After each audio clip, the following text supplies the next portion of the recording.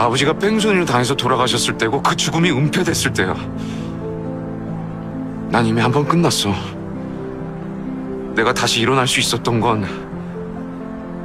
복수를 다짐했기 때문이고 그 전엔 내 행복은 있을 수 없어.